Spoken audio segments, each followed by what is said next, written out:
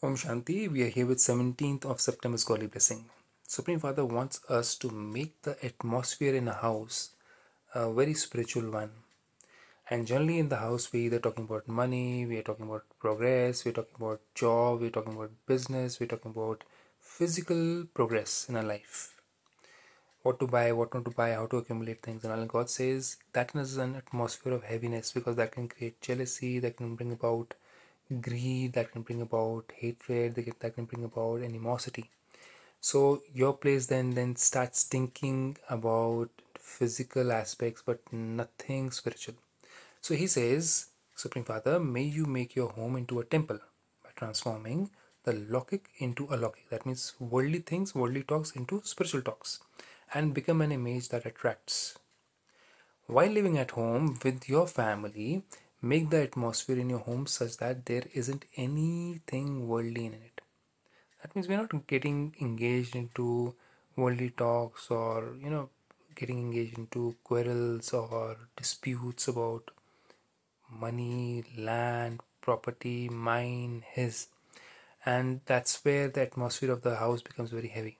So he says, let anyone who enters it experience that place to be alokik, not lokik that it is not an ordinary home, but a temple. This is a practical form of doing service with a pure household. This is a practical form of doing service with a pure household. That means you showcase your family as a peaceful place, as somewhere where there is no concern, no hassle, no heaviness in that place. The atmosphere is very light.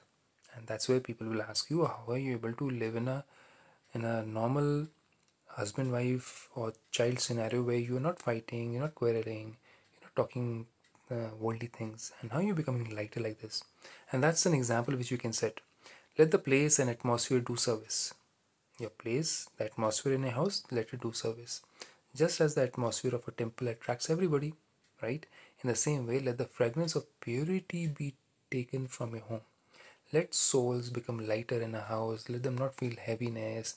Let them not feel awkward. And let them not feel that there's so much of hatred and revenge and so many things. That fragrance will automatically spread everywhere and attract everyone.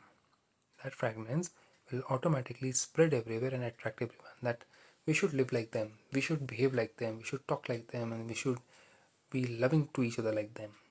And where do you learn that? You learn that at Brahma Kumaris. Om Shanti with this.